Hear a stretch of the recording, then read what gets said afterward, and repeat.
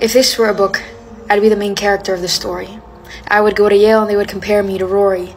I would want to experience the most romantic situation, but it would take quite the man to get me to read a boyfriend application. I'd be really funny, but only few would get to know I would dance in the rain with someone really, really slow.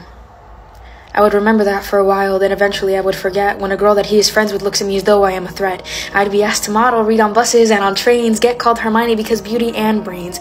I'd be really tough on myself, feet banging on the floor. I'm running and running until I can't breathe anymore. Then I would fall again and again, living in a country where I was born first gen, where many speak my language but few take the time to hear. They tell me how to get there, but the directions aren't clear. It's only a book, they say rip out the pages, find different actors, build better stages, but I don't know how to build. My parents aren't actors, and they never consider any of these factors.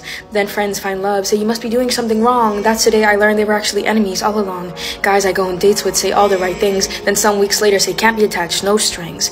But if this were a book, I would spend years of my life reading, following the plot to see where it is leading. If this were a book, I'd give it to all of my friends. Please write in your annotations in pencils and pens. And these friends would say these lines remind me of you, except you're much stronger because you have to live it too.